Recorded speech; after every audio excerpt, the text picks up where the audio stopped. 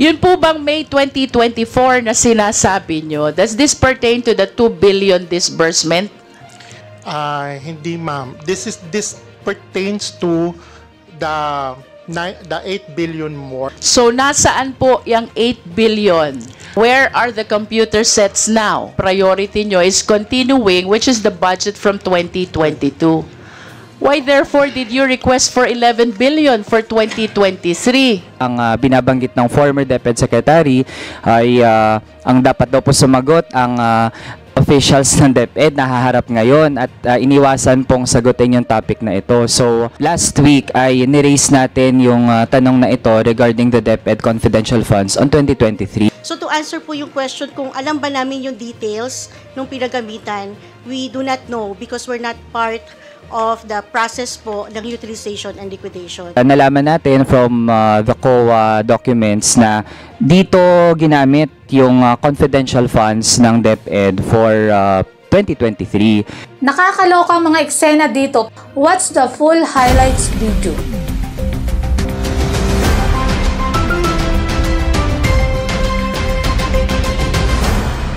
One computer, nine students po. That is 1 is to 9. How about the ratio for the teachers? One computer is for uh, 30 teachers. One computer for 30 teachers. 30.57. That is almost saying impossible to facilitate an e-learning system having one computer for 30 teachers. DepEd in 2023 requested and lobbied for an allocation amounting to 11 billion 361 million. In other words, sinuportahan po tayo ng Senado at ng Kongreso in addressing this need, in addressing this gap. However, out of 11 billion allocation, bakit po 2 billion 75 million lang ang naging disbursement? Can we hear from DepEd? Ma'am, for the 2023, when the new administration came in, the priority was the continuing 2022. That's why for 2022 funds, we have the 92% uh, obligation. Now, yung 2023, ma'am, tumawid ngayon siya na 2024. priority nyo is continuing, which is the budget from 2022. Why therefore did you request for 11 billion for 2023? Kung sasabihin nyo ngayon, ang priority nyo is 2022, kaya hindi nyo nagamit yung 2023. Lahat ang problema nila, computer, laptop. Now we have this 11 billion budget. You requested this for 2023. Bakit po ang disbursement nyo 2 billion lang? Nabili na po natin yung 2023 budget. Ang pending po natin, 95% na yung ah, ating obligation. Yun po bang May 2024 na sinasabi nyo, does this pertain to the 2 billion disbursement? Ah, hindi ma'am. This is this pertains to the the 8 billion more na hindi pa na gagamit. So nasaan po yung 8 billion? Ma'am yun, nagamit na po natin to. Where are the computer sets now? The computers now are being delivered to the schools. Yung pong at yung pong hinahanap nyo na 20 Who can validate that information that they are being delivered to schools? May nagamit na 8 billion, but what surprises me a lot, punta po tayo sa baba. Both the current and the continuing has an accomplishment of 0%. 2,349 LC, 2,648 smart TVs, 12,022 laptops, 7,558 laptops. Ang hindi po nade-deliver, 6,770 packages. Nasaan po itong mga equipments na ito? Na-deliver na po natin ang 91.47%. At yung pong laptops for non-teaching, na-deliver na rin po ito ng 100%. These are all accounted for the fund year of 2022. Nasaan po itong 17,019 packages under the current appropriation? Okay. Contract, ma'am, the NTP was May to December. So ang target po before the end of the year, maibigay po yung lahat ng EF. It's 3.77% na po yung na-deliver. Uh, because the procurement of the uh, current 2024 happened in January. Hindi ko po alam kung paano nyo i-realize ito concerning the possible significant changes already with the specs. Ma'am, all our packages from e-learning card to STV, laptop for teachers and laptop for non-teaching are duly vetted and cleared from the Department of Information, Communication and Technology. Ma'am, yung... Or yung- should I say, who causes the delay? Ma'am, hindi naman. Ma'am, kasi yun nga pong 2024, yung current fund, syempre po nagsimula po kami ng procurement ng January. Hindi pa po nagagalaw yung 2022. So, naging priority po muna yon noong 2023. I will go back to my question, Madam Chair. If your priority is 2022, then you should not have requested for 2023. Kanina po may nabanggit na nasa warehouse. Ano po ba yung nasa warehouse? Ma'am, yung nasa warehouses na nabanggit, these are not these uh, lots. Ito pong DepEd computerization program na ito, ito po yung recalibrated uh, DCP. Yung pong nasa warehouse, those are those purchased during 2020-2021. 2020, 2021. Yes, ma'am. Ito pong 2022, ito yung 2023, ito po yung dinideliver pa lang ngayong 2024. Yes, ma'am. Madam Chair, I just wish to manifest my frustration about the significant delay in the proper bidding, procurement, and delivery of all this ICT equipments. Ito po'y kailangan-kailangan ng ating mga public schools.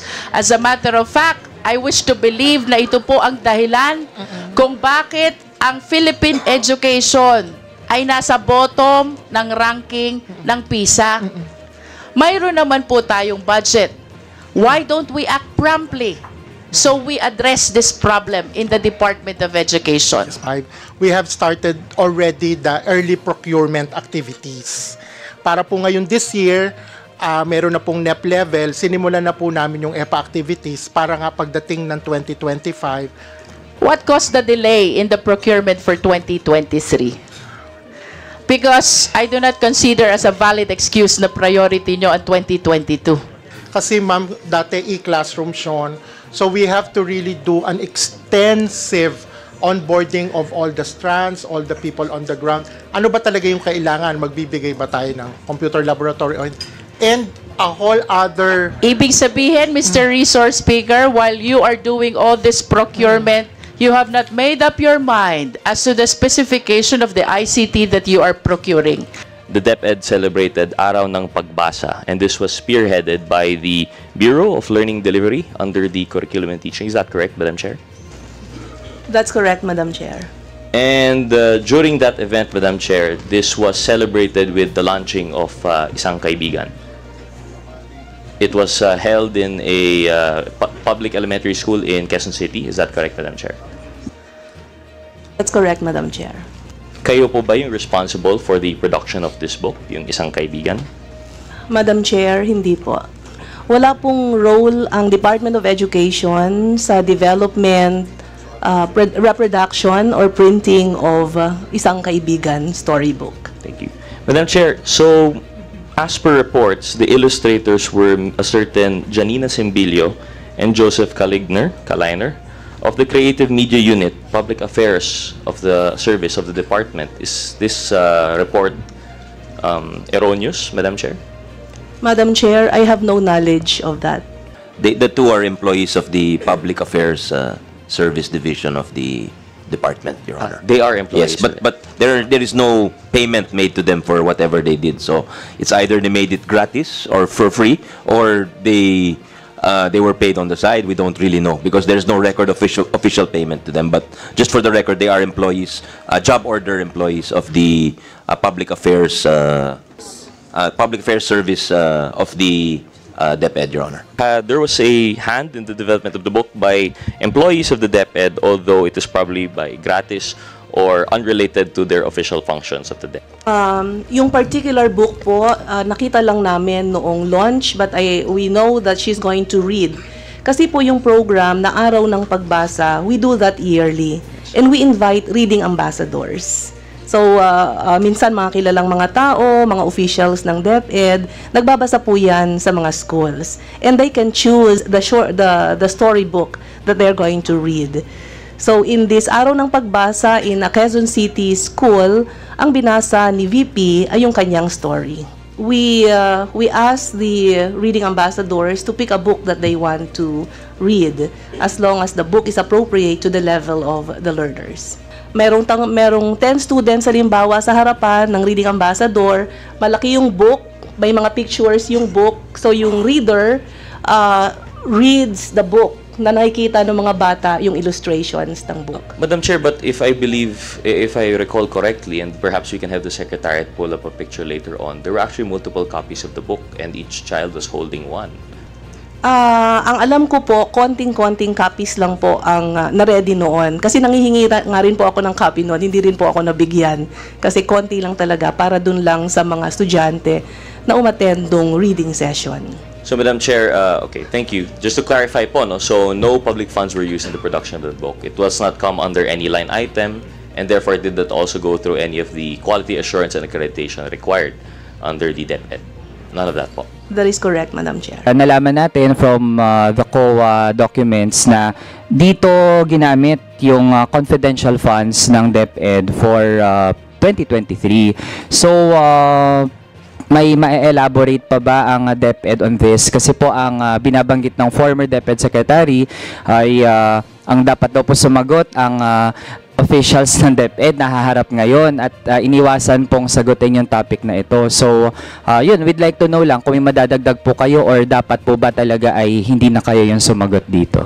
And uh, we have applied po the joint circular of COA, DBM, DILG, GCD, and DND.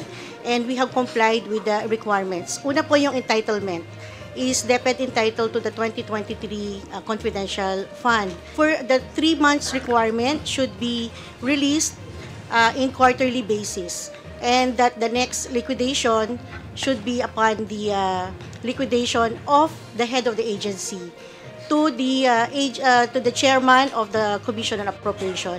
So to answer po yung question kung alam ba namin yung details nung pinagamitan, we do not know because we're not part of the process po ng utilization and liquidation. Last week ay niraise natin yung uh, tanong na ito regarding the DepEd confidential funds on 2023 kasi nga uh, mahirap din na uh, expect natin na yung officials na harap ngayon under the new DepEd leadership ay sila yung sumagot dun sa tanong. So Madam Chair to confirm uh, magre-request po ba ng confidential funds for 2025 ang DepEd? Uh, no, Your Honor, Madam Chair. Uh, maybe no po bakit uh, hindi ibig sabihin po ba ay hindi na nakikitaan ito ng purpose Yun, yun ho, ah, kasama ho yun. Ah, siguro, hindi na rin hiningi nung predecessor namin for the last year and the for 2024, if I'm not mistaken, wala rin.